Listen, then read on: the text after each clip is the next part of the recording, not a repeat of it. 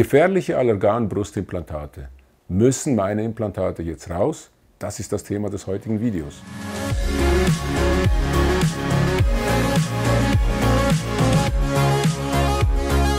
Schönen guten Tag, mein Name ist George Stergio, ich bin leitender Arzt der Abteilung für Gesichts- und Plastische Chirurgie hier der Praxisklinik Urania in Zürich. Das heutige Thema ist ein sehr aktuelles Thema, nachdem die Meldungen sich zusehends auch aus Amerika, aber auch aus Frankreich zu uns rübergekommen sind, dass gewisse Implantate, unter anderem auch der Firma Allergan, die beschichtet sind, das heißt, die rau sind, im Zusammenhang mit einer seltenen Tumorform, der sogenannten ALCL, das heißt anaplastisches Large Cell Lymphoma, gebracht werden und vom Markt genommen wurden. Was heißt das jetzt für Patientinnen, die diese Implantate schon seit Jahren haben oder seit kürzlich.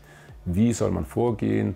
Was ist die Empfehlung? Wir haben in der Klinik das Thema natürlich auch diskutiert, die entsprechenden Empfehlungen national und international uns angeschaut und wir haben das übernommen im Sinn von, dass wenn eine Patientin keine Symptome hat, das heißt keine Beschwerden im Sinn, dass sie Flüssigkeitsansammlungen hat, dass sie Schmerzen oder Knotenbildungen hat um äh, das Implantatlager, dass man eigentlich keinen Grund hat, diese Implantate, auch jetzt diese Firma äh, Allergan, das äh, Modell Natrel zum Beispiel, prophylaktisch in dem Sinn vorbeugend rauszunehmen. Man muss wissen, dass diese ALCL-Form, dieses Lymphom, letztendlich kein Brustkrebs ist, sondern eine Veränderung im Bereich der Brustkapsel, äh, der Kapsel um dieses Implantat und in der Regel, wenn so etwas vorkommt, ist durch die Entfernung der Kapsel und des Implantates das Problem eigentlich schon gelöst. Wir kommen natürlich jetzt wieder auf die Situation der verschiedenen Implantatformen, der Beschichtungen und der Lage. Dazu haben wir ja auch speziell ein anderes Video gemacht. Aber was ich ganz wichtig finde in diesem Zusammenhang, und das ist ja uns an unserer Klinik auch sehr, sehr wichtig, das ist die Vorabklärung und dann natürlich auch die Nachbehandlung. Also ich denke, es ist einfach wichtig, dass vor so einer Implantation letztendlich auch äh, der Gynäkologe der Klinik einen, mindestens einen Ultraschall durchführt und mal schaut, ob das Brustgewebe gesund ist. Wenn nicht, dann allenfalls noch weitergehende Abklärungen dann veranlasst und dass auch nach der Implantation die Patientinnen zu einem äh, jährlichen Recall vorbeikommen, um auch klinisch und radiologisch beim Gynäkologen die Situation zu kontrollieren.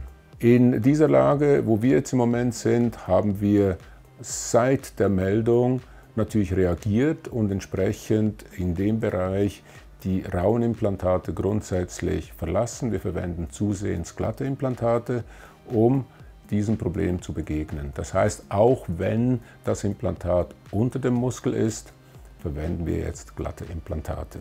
Bevor ich euch sage, warum man das mal überhaupt raue Implantate gewählt hat, möchte ich euch darauf hinweisen, wenn ihr wirklich eine professionelle Beratung im Bereich der Brustvergrößerung haben wollt, dann bitte einen Termin hier in der Sprechstunde nehmen. Die Kontaktdaten sind unten aufgeführt. Nochmal zum Thema der rauen Implantate. Es geht also grundsätzlich um die rauen Implantate, die man vorwiegend unter dem Muskel verwendet hat. Der Grund war eigentlich, dass die Patienten diese sogenannte Komplikation, die längenfristige Probleme hatten mit der Kapselfibrose. Das heißt die Verhärtung der Brust durch das, dass der Körper um das Implantat eine entsprechende Hülle gebildet hat. Man hat gemerkt bei den, bei den Implantaten über dem Muskel, dass es eigentlich viel mehr Kapseln gab und dann ist man natürlich darüber gegangen, diese Implantate besser zu stabilisieren und die Rauheit der Oberfläche hat geholfen, weniger Kapselfibrose zu bekommen.